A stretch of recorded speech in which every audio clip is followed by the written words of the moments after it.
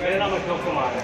और फिर इसके बारे में बताइए गोदाम सर ये मैं पिछले तेरह साल से भारत सरकार द्वारा जारी किए लाइसेंस पर पटाखों काम करता हूँ और मैक्सिमम लोग मुझे जानते हैं स्टार नाइट मेरी का नाम है।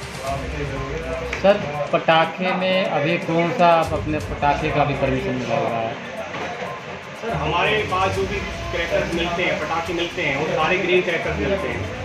जो मान्यवर सुप्रीम कोर्ट ने आज से तीन साल पहले जो जिनको अनुमति दी थी कि जो भी दुकानदार ग्रीन क्रैकर्स रखेगा वो पटाखे बेच सकता है। तो हम सारा हंड्रेड परसेंट हमारे स्टोर के अंदर ग्रीन क्रैकर्स अ, आपने ना सर ये ये पटाखे जैसे कोरोना है कोरोना के क्या सेफ्टी प्लान रखा हुआ है यहाँ पर?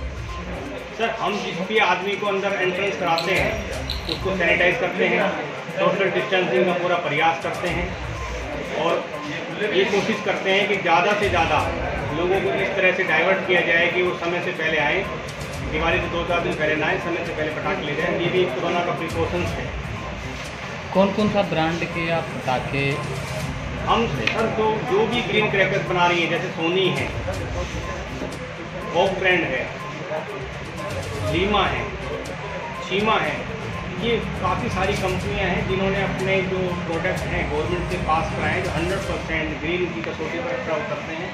हम उन्हीं प्रोडक्टों को रखते हैं। मैं आपके माध्यम से बता देना चाहता हूँ कि देश की जो सर्वोच्च न्यायालय है, सुप्रीम कोर्ट, उसने कभी भी पटाखों के लिए मना नहीं किया। उनका ये था कि पब्लिक के जीवन को ध्यान में रखते हुए ऐसे पटाखों का चलन किया जाए जो प्रदूषण कम करे। तो उन्होंने कुछ पटाखों का फार्मूला अपने साइंटिस्टों से तैयार कराया, जिस कैटेगरी में वो जो पटाखे जो बनते हैं, उनको हम ग्रीन क्रैकर्स बोलते हैं। लोगों में आजकल बड़ा ही भ्रम फैला हुआ है कि सरकार ने पटाखे बैन कर दिए हैं। मैं मानता हूँ, सरकार ने कुछ हमें दिशा निर्देश दिए हैं कि वातावरण का सत्र यदि इससे ज़्यादा गिरता है तो उस स्थिति के अंदर पटाखे बंद कर दिए जाएँगे। हम भी सुप्रीम कोर्ट का स्वागत करते हैं और आजकल जो माहौल है पोल्यूशन लेवल जो है बहुत कम है। हर साल देश के कोई भी लोग ये मानने को तैयार नहीं थे कि जो पोल्यूशन होता है वो पराली का कारण है। इस बार सरकार ने जो पराली का जो कुछ कंपनियों को कॉन्ट्रैक्ट दिया है कि भाई आप पराली जलाए नहीं, इसको क्रोकरी की कंपनियों के लिए आप इसको रॉ मेटेरियल को खरीद लीजिएगा, या इसको मशीनों से कटवाया जा रहा है तो उस स्थिति में पराली नहीं बनती। और इस बार पराली नहीं जली तो मैं बताता हूँ, आज का जो पोल्यूशन रिपोर्ट के और एन के जो मापदंड हैं, उसके अनुसार हम काम करेंगे, उनका पूरा स्वागत करेंगे। उनके जो भी कानून हैं हम पर, हम उनको सख्ती से लागू करेंगे। एन ये नहीं चाहती कि भाई इस पटाखे ना हो। उनको किसी की आस्था से कोई किसी से बैर नहीं है। वो चाहती है कि मानव के जीवन को कैसे सुरक्षित रखा जाए। और परम पिता परमात्मा की कृपा से इस बार जो वातावरण है, बहुत ही साफ़ सुथरा है। इस वातावरण साफ़ सुथरे की वजह से गवर्नमेंट को भी ये कुछ कुछ समझ में आने लगा है मुख्य कारण मैं बार बार दोहरा रहा हूँ कि पटाखे नहीं होता है। जब से गाड़ियाँ, डीजल की गाड़ियाँ इलेक्ट्रिक में कन्वर्ट हुई हैं, पराली जन जलाना बंद हुआ है वातावरण शुद्ध होता जा रहा है।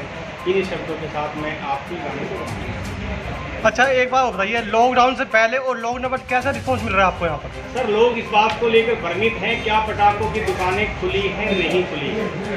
मैं आपके माध्यम से बता देना चाहता हूँ कि कुछ सुप्रीम कोर्ट के कुछ दिशा निर्देश हैं। जब तक वातावरण की वायु की गुणवत्ता वहाँ तक रहेगी तब तक सुप्रीम कोर्ट का आदेश है, तब तक हमारे पर कोई भी संस्था, चाहे वो एनजीटी हो, चाहे पोल्यूशन कंट्रोल बोर्ड हो, वो हमारे पर बैन नहीं लगा सकती।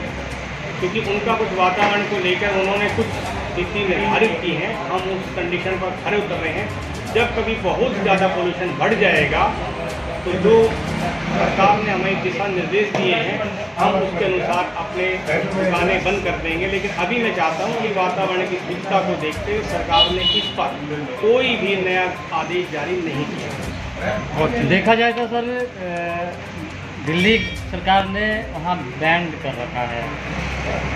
तो आप लोगों को ऐसा कुछ नोटिस वगैरह तो नहीं आया ना इस इस मामले में मैं दिल्ली सरकार को गलत नहीं ठहराना चाहूँगा। केजरीवाल साहब ने जो निर्णय लिया वो पिछले वर्षों के आधार पे लिया। पिछले वर्षों में इन दिनों में पोल्यूशन लेवल बहुत ज़्यादा हो जाता है। वो भी एक इंसान है कोई ज्योतिष नहीं है। उनका भी आकलन गलत हो सकता है। वो ये मान बैठे थे कि इसमें पटाखों का योगदान होता है। लेकिन मैं मानता हूँ कि उनको भी ये बात बहुत जल्दी समझ में आ जाएगी। जैसे इस साल पराली नहीं जली है तो वातावरण शुद्ध है। आप देखिए, हम खुली हवा ले रहे हैं। आप एयर क्वालिटी इंडेक्स पर जाइए। पिछले दो महीने से हमारा जो पोल्यूशन का जो लेवल है, वो 80 और डेढ़ सौ के बीच में है। अदरवाइज़ इन दिनों में ढाई सौ पार कर जाता था। तो केजरीवाल को भी किसी व्यापारी से कोई शिकवा नहीं है। वो भी जनमानस की भलाई के लिए ही उन्होंने सोचा था, लेकिन मेरी ये एक शुभकामनाएँ हैं सभी व्यापारियों के लिए कि जल्द ही देश की राजधानी में भी शायद ये बैन हटा दिया जाए। आप लोगों को क्या संदेश देना चाहोगे सर आप पे वजह कैजुअलिटी को किस तरह से रोका जाए? हम्म, मैं मानता हूँ कि हर पटाखे के डब्बे पर उसको चलाने का कुछ नॉर्म्स लिखा होता है कि आपको कितनी दूर से चलाना है इसकी ध्वनि की मा इसकी ध्वनि की क्या मात्रा है कितनी आवाज़ करेगा ये अनार का फैलावट कितना होगा सब कुछ लिखा होता है। आप उसके अनुसार चलाएँ।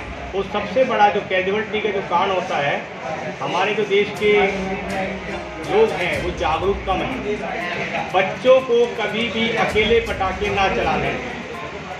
ठीक है। सबसे बड़ा कैजुअलिटी ये कारण होता है कि बच्चों को ये नहीं पता रहता how to operate the fire आपको पटाखे कैसे चलाने हैं? कभी कभी बच्चे क्या है पटाखे को उल्टा रखते हैं। जिसको आसमान की तरफ़ दौड़ना होता है। आप उसको उल्टा करके रखेंगे।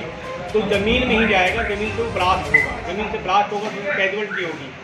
कुछ लोग शराब पीकर पटाखे चलाते हैं। हमारे पास कस्टमर ऐसे भी आते हैं कि आप इतनी अच्छी क्वालिटी का पटाखा दीजिए, जो जिसको हम अपने सर पे रख के चलाएँ, जिसमें नुकसान ना होता तो मैं आपको फिर आपके माध्यम से संदेश देना चाहता हूँ कि दुनिया में जो पाँच हज़ार करोड़ रुपए की मिसाइल भी फेल हो जाती है तो पटाखा उद्योग इस बात की क्या गारंटी लेगा कि ये पटाखा 100 परसेंट सेफ़ है। जीवन की जो एक्सपेक्टेंसी है, वो भी 99.9 हो सकती है। 100 परसेंट तो कल आप रहेंगे या नहीं रहेंगे, उसके लिए हम नहीं कह सकते। इसलिए इस भ्रम को निकाल दीजिए कि मैंने बहुत अच्छी क्वालिटी का पटाखा लिया था, मैं इसमें हाथ में लेके छुटाऊँगा सर पे रख के चलाऊँगा, गाड़ी में रख के चलाऊँगा, ऐसा कुछ नहीं है।